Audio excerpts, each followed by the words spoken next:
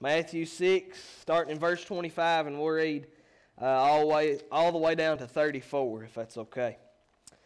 It says, Therefore I tell you, this is Jesus talking, by the way, so you should listen.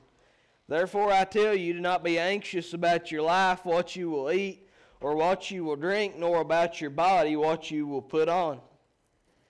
Is not life more than food, and body more than clothing? Look at the birds of the air. They neither sow, nor eat, nor gather into barns, and yet your heavenly Father feeds them. Are you not of more value than they? And which of you, by being anxious, can add a single hour to his span of life? And why are you anxious about clothing? Consider the lilies of the field, how they grow. They neither toil nor spin. Yet I tell you, even Solomon in all of his glory was not arrayed like one of these.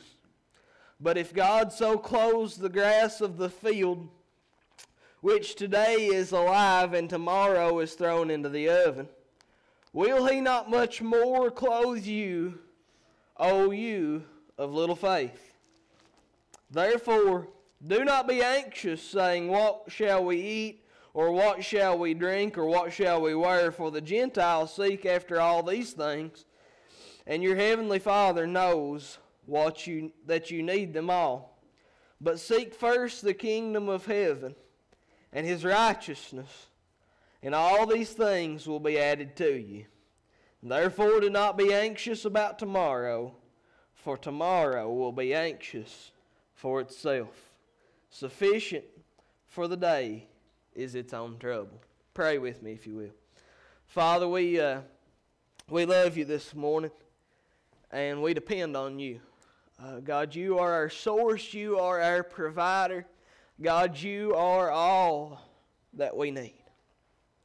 Father, I pray this morning that you'd give me the very words of life to speak so that our, our hearts and our lives would be changed, Father.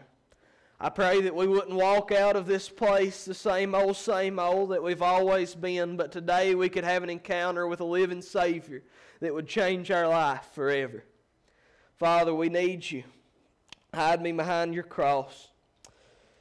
It's through Jesus we pray this morning. And amen. I remember when I was young, uh, I'd always run around with Dad, and occasionally uh, I would try to pay for whatever it was that I was buying that day. And uh, sometimes it was a candy bar or a bag of chips or whatever it was. On Saturdays, we uh, went and cut wood usually for the first half of the morning, and we'd stop down at the little gas station, and I had a few things that I always bought, but uh, I would try to use my own money sometimes. And uh, Dad would always be watching because he knew about how much money I had because he already he gave it to me, you know. And uh, he would always watch and see how much money I had. And if it was going to break me to buy that, he would say, No, I'll buy it because I don't want you to be broke. I'll buy it because I don't want you to be broke. I don't want you walking around with no money. And growing up, I knew that if Dad had money, I had money. And that I didn't have to worry about uh, how I was going to pay for anything when I went somewhere. If Dad was with me, uh, I knew that he had me took care of. I knew that Dad had enough, that if he had enough, I had enough. And if Dad had money, I had money. And so I learned that early on, and I know that that's not everybody's experience, but that was my experience. And uh, sometimes in our walk with the Lord, uh, we, uh, we don't have that same way of thinking. We think that what we have is all that we have. Uh, what we have in our, in our wallet, what we have in our bank account is all that we own. But what we forget sometimes is that we have a heavenly Father, and He has enough. He has enough. And uh, sometimes we can get worried because it looks like there's going to be more month than there is money. Has anybody ever been there before? It looks like that things are just going to be tighter than they've ever been, and it's it looks like that uh, that that things are just going to be hard for a little while, and and sometimes they are hard. Don't get me wrong. Uh, we all go through financial times that are difficult, and uh, it's easy to lose sight when the bank. It's easy to trust God when there's plenty in the bank account, right? Could we just be real this morning? When they when there's plenty of money in the bank account, it's easy to trust God. Things are good. God is good. Uh, life is good. But when things get a little tighter, it's hard to trust God. It's hard to trust God, and, and I'll be honest with you. There's been some times in my life that was tight. I, you know, I know that I've not been on my own that long, but there's been a few times that was tight. And um, as a church, there's been some times like right now that we're tight. But what we have to realize when we're tied as individuals or when we're tied as a church is that, that God is not. God is not broke and God is not running on empty. God is not um, down to his last dollar. And as long as God has money, he will provide for his children. Jesus, in this passage of Scripture, he says, Listen, guys, I know what you worry about. Jesus was saying, I know what you worry about. I know what's on your mind. He was looking at a crowd of people, and they probably wasn't sitting in padded pews, and they probably wasn't wearing clothes like you're wearing. They were wearing something different. But, but he looked into a group of people, and he said, Listen, I know that you're worried. I know that you have things on your mind. I know that you're worried about how you're going to pay your bills. I know that you're worried about where your next meal is going to come from. I realize that you're not sure how you're going to buy clothes for your kids. I realize that, that things may have put you in a pinch. But don't worry, I've got you. Don't worry, I've got you. Jesus said, I want you to think about this. He said, Look outside. They were probably sitting on a hillside, so they didn't have to look outside. And you can't look outside because we got stained windows. But he said, Look outside. You see those birds flying around? They don't even have a job. They're not doing nothing. They don't even wake up and, and, and drive to work in the morning. And I'm taking care of them. I'm taking care of them. And you see those lilies out there that are so beautiful? You see those Easter flowers that are blooming, those dogwoods that are blooming, that, that, that you can't even paint a picture to capture? I dressed them. I put their clothes on for them. They didn't do nothing but lay in the ground as a seed, and I brought them up. I clothed them. And he said, All that they are, they're just a bunch of birds and a bunch of flowers. But he would say to them, You are much more valuable than they. You may not realize this morning, but you are valuable to God you hold inside of you, listen to this, this is crazy, the image of God. You are carrying part of God's image in you. And if you are a born again believer, when you got saved, when you surrendered your life, the Holy Spirit moved into your body.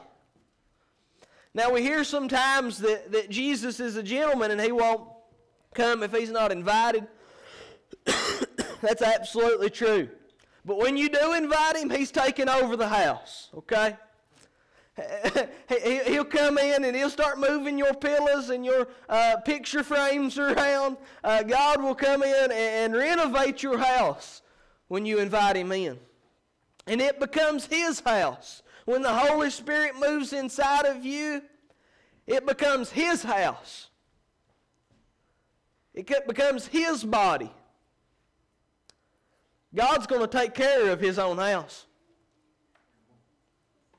God's going to take care of his own body. God is going to take care of you. God is going to take care of you. I want you to realize this morning who is your source? Who is it that is providing for you and your family? You may think that because you get up and go to a job and you work so many hours a week that you are providing for your family. And having a job and going to work is an honorable thing. I have to do it and you have to do it and it's just part of it. But, but oftentimes we think that we are, are earning the money. We think that it's our money because we earned it. It's my money and I, never mind. we think that it's my money because I worked for it. But really, at the end of the day, God gave you the hands to work to do the thing that you're doing. God gave you the ability, He gave you the wisdom, He gave you the intelligence to make that money. He gave you favor at a workplace so that you could get a job. Your name may be on your paycheck, and your company's name may be on your paycheck. But that money came from God. Here's what we do sometimes we get so focused on the resource, on what we have, what we've been given, and if you're extra spiritual, you may even uh, realize that it, everything you have, the house that you're living in, I know your name's on the deed, but it's God's house. We think that we, we get our focus on what we've been given on the blessings that God's given us. But we take our eyes off of the source. We get our eyes on the resource and forget about the source. Have you ever done that?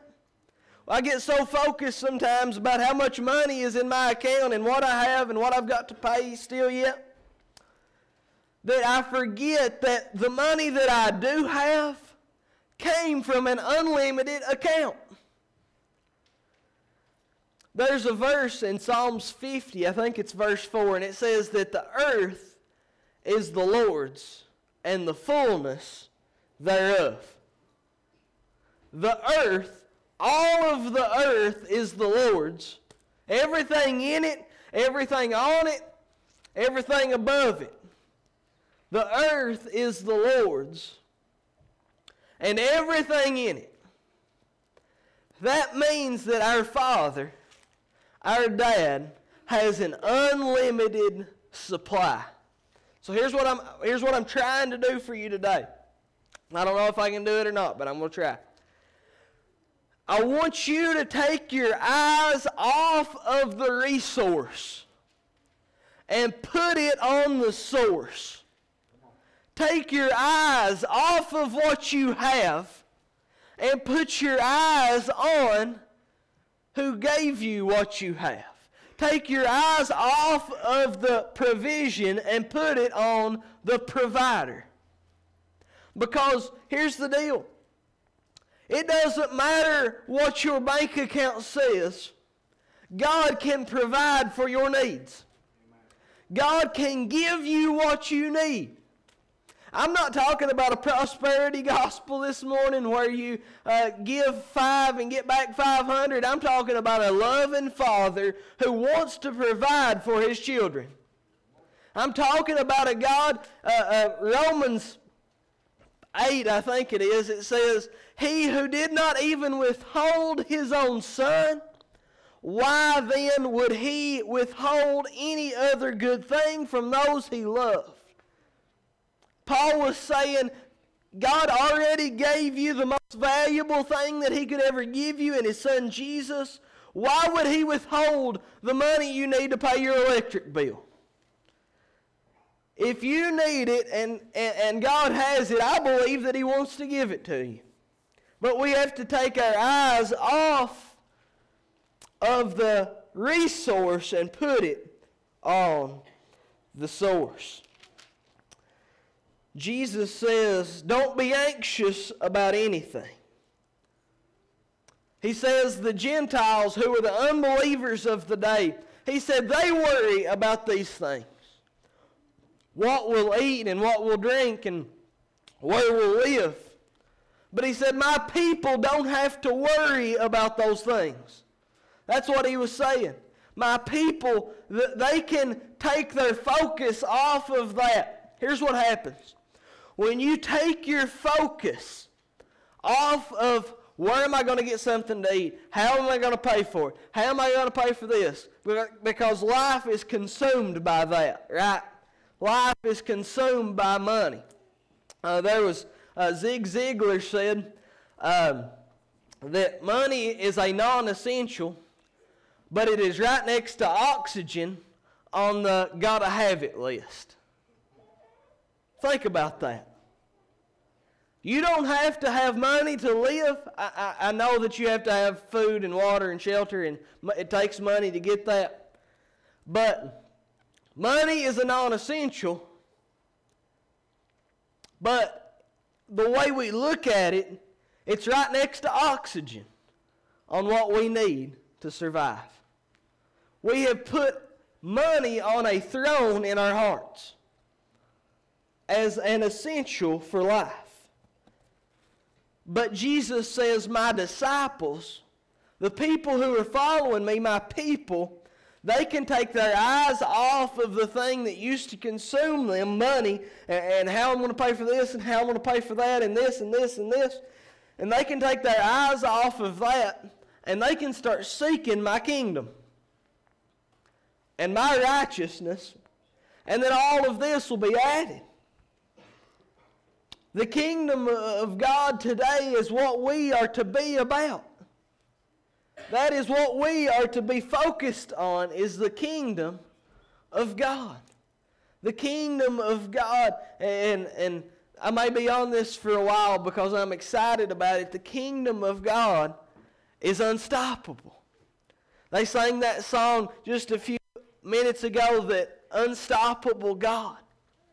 This weekend I heard story after story of people trying to stop the gospel, trying to stop what God is doing on planet Earth. Governments trying to stop the gospel. Armies trying to stop the gospel. But this gospel, it has not been stopped. Did you know that there is not one government on planet Earth that's been successful at keeping the gospel out of their country?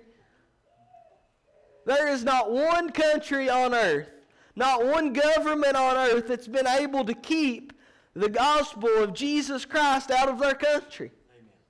They made laws against it. They killed people for it. They put major fines on people who just were found with a Bible.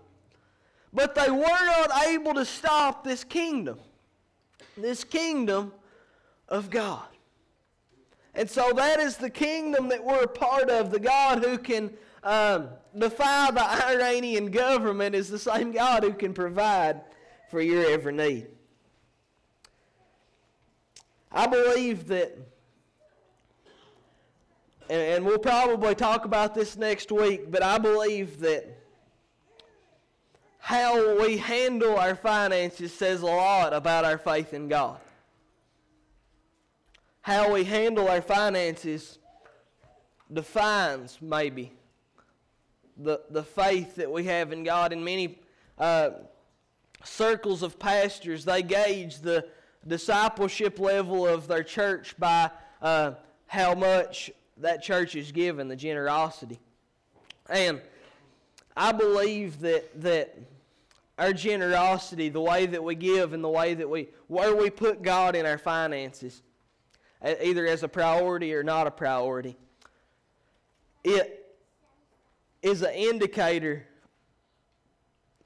of where your heart is. And it's an indicator if God is not priority in your finances, He's not priority in your heart.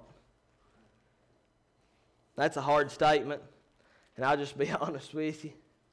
there's been uh, pastors throughout for saying stuff like that, but I love you too much to not say that to you. I love you too much to, to, to, te- to not tell you that if you can't put God first in your finances, you've not put Him first in your heart. If God's not changed the way you do your money, He's not changed your heart. And if that offends you, so be it. That's God's Word. Jesus says to take our focus off of our daily needs, to take our focus off of the things that oftentimes consume us. I told you last week that money was the number one cause of anxiety or stress in America today and has been for, I think, almost 20 years. But isn't it funny how Jesus puts this together right after talking about uh, no one can serve two masters and, and talking about money? He says, Don't be anxious. Don't be anxious about money. He's saying, Don't spend your life consumed about money. Don't spend your life focused on money. Spend your life focused on God because you need to have faith that I can provide for you. I know this morning that maybe provision seems impossible for you. Provision seems impossible. But as I think about God's provision, I think about the children of Israel wandering in the desert. And they had been in Egypt for 400 years, and they uh, followed this man who said he was from God. And they wandered out into a desert. And then they got out there and they realized they didn't have no food. They didn't have no bread. They didn't even have any water. It was a desert. And they got out there and they said, Yeah, this guy was from God. I bet you he was from God because he's led us right out here to die in this desert. They were thinking this guy is an impostor. This guy is a joker because he's led us out here to die from starvation. There was no food to be found in the desert. But God rained down manna from heaven, and He got water to come out of a rock. Even in an impossible situation, God provided for His people. Provision may seem impossible in your situation. I don't know who I'm talking to. I don't know who I'm talking to. Provision may seem impossible to your situation, but God will provide. Do you know what the children of Israel called God after that? They called him Jehovah Jireh, my provider. This morning I'm going to close out. I'm not sure if I've helped you or not, but I do want to tell you this that Today, God loves you. He wants to provide for you, He wants to provide for your needs. He wants to provide you with a, a, place to live and food to eat and water to drink. But He already provided you with the thing you really needed. He already provided you with the thing you really needed. And you might not even have known you needed it. we're all on our when we're on our own totally and hopelessly lost. Absolutely completely lost without hope of ever finding our way. On our own we are totally and completely separated from a holy god. And what we didn't know we needed that God knew we needed was a relationship with Him. And so He provided that. He provided a way for us to have a relationship with Himself. And He done that through His precious Son, Jesus, who came and died, was tortured and butchered on a cross Sometimes I feel like we lose the significance of that. We hear it so much. We hear that Jesus died on a cross, and it don't even bother us anymore. It don't even bother us anymore. Do you know what I'm talking about? That you hear that Jesus died on the cross and it don't even get to you anymore? You're just like, oh, well, yeah, he died on a cross. He did. That was good. Thankful for it. Do you realize what he went through? This is not in my notes. I don't even have notes, so I, I don't know who I'm speaking to this morning. But sometimes we get so so used to the gospel that it loses its weight. Do you realize that, that, that you had nothing to offer God? Like nothing. Nothing. Like zero, zilch, nada, none. You had, you had nothing of value before a holy God. But God sent the most valuable thing in the universe, the most valuable thing that ever could be, a perfect son, and he was butchered, beaten, bruised, hit, banged, just utterly destroyed. He was ripped apart by the whips of the Romans to take our punishment. And he died on a cross because he knew that if he didn't, I would have to. And you would have to. And they laid him after they had killed him. They laid him in a grave. And the devil, he thought he had won. And the day on Good Friday that's coming, coming right up, I'm sure that there was a party in hell. Satan didn't know the plan. Satan thought he had won. He thought, I have killed the Son of God. But what he didn't know is that from the foundation of the earth, that was the plan. That it was God's plan to send his son. And that he didn't, he didn't, he wasn't murdered on that cross. He laid down his life on it. He laid down his life on it for you and for me. May we never lose the importance of that. I want to pray for us this morning. And after I pray for us, I want to invite you to this altar. Uh, and if you don't have something going on in your life, and I hope you don't, but if you need to pray on this altar for you, that's good. And that's what it's for. But I want to invite you that if you don't have something in your life to pray for this morning on this altar, there is a community around us without hope. There are people who are dying and going to hell within a mile of us. We don't even seem to care sometimes. Would you come pray for those people? Nobody else in Jackson County may be praying for those people that you know that are lost. Would you pray for those people?